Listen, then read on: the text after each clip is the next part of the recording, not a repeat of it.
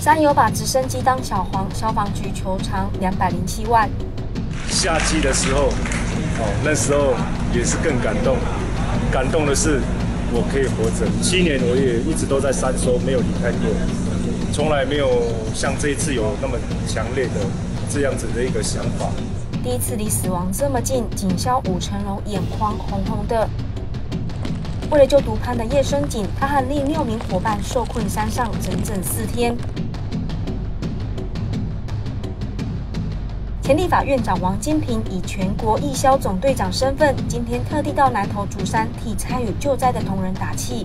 不过，大家最关心的这趟超级救援，消防局对叶生锦求偿的金额不断增加。直升机连人带油料，一趟两小时十九万六，五趟一百九十六万，十七名搜救员的超勤费和物资十一万五。通勤及南投县消防局向他求偿总共两百零七万五千元。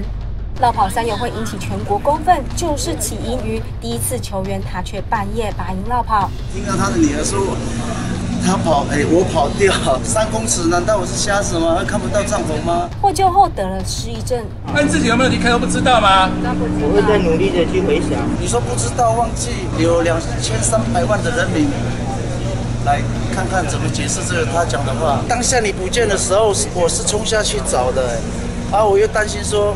你在路上又出了状况什么？他不仅害七名警消受困山上，还有人因此高山症。第二次求援又为了互包脱钩，置救难人员于险境。